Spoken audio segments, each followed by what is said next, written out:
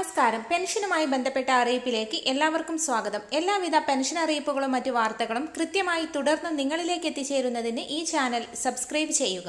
Video ഇഷ്ടമായാൽ like ചെയ്യുക. Pension ഗുണഭോക്താക്കൾ കാത്തിരുന്ന സന്തോഷ വാർത്തയെത്തി. ക്ഷേമ പെൻഷൻ അക്കൗണ്ടിൽ ക്രെഡിറ്റ് ആയി തുടങ്ങി. ആയിരത്തി അറുന്നൂറ് രൂപ വീതമാണ് ഓരോ ഗുണഭോക്താക്കളിലേക്കും എത്തുക. ഇന്നലെ മുതൽ വിതരണം ചെയ്യുമെന്ന് അറിയിച്ചിരുന്നെങ്കിലും ചില സാങ്കേതിക കാരണങ്ങളാൽ തുക ഇന്നലെ വിതരണം ചെയ്യാൻ കഴിഞ്ഞിരുന്നില്ല. എന്നാൽ ഇപ്പോൾ എല്ലാവരുടെയും അക്കൗണ്ടുകളിലേക്ക് തുക എത്തിത്തുടങ്ങി. പെൻഷൻ അക്കൗണ്ടിൽ എത്തിയവർ അവരുടെ പെൻഷൻ അക്കൗണ്ടുമായി ബന്ധിപ്പിച്ച ഫോണിലേക്ക് മെസ്സേജ് വന്നു തുടങ്ങിയിട്ടുണ്ടാവും. ആയിരത്തി അറുന്നൂറ് രൂപ വീതമാണ് ലഭിക്കുക. നാലു മാസത്തെ തുക വിതരണം ചെയ്യാൻ ബാക്കിയുണ്ടെങ്കിലും സംസ്ഥാനത്തെ ഇപ്പോഴത്തെ സാമ്പത്തിക സ്ഥിതി കണക്കിലെടുത്തുകൊണ്ട് ആയിരത്തി അറുന്നൂറ് രൂപ അടിയന്തരമായി വിതരണം ചെയ്യാനാണ് തീരുമാനിച്ചിട്ടുള്ളത്.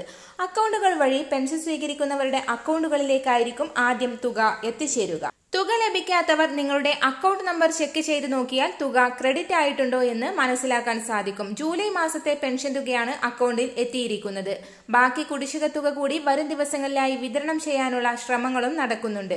അക്കൗണ്ടിൽ പെൻഷൻ എത്തിയവർ ആ ഒരു സന്തോഷം കമന്റിലൂടെ പങ്കുവെക്കുക പെൻഷൻ തുക വിതരണം ചെയ്തപ്പോൾ പെൻഷൻ തുകയിൽ കുറവ് വന്നിട്ടുള്ളവർ ശ്രദ്ധിക്കുക. ഇരുന്നൂറ് രൂപ മുതൽ നാനൂറ് വരെ കുറവ് വരാൻ ചാൻസ് ഉണ്ട്. ഇത് കേന്ദ്രവിഹിതമാണ്. കേന്ദ്രവിഹിതം പിന്നീട് വിതരണം ചെയ്യുമ്പോൾ നിങ്ങൾക്ക് ആ ഒരു തുക പിന്നീട് ആയിരിക്കും അക്കൗണ്ടുകളിൽ ക്രെഡിറ്റ് ആവുക. വരും ദിവസങ്ങളിലെ കൂടുതൽ പെൻഷൻ വിതരണ അറിയിപ്പുകൾക്കായി ഈ ചാനൽ സബ്സ്ക്രൈബ് ചെയ്യുക.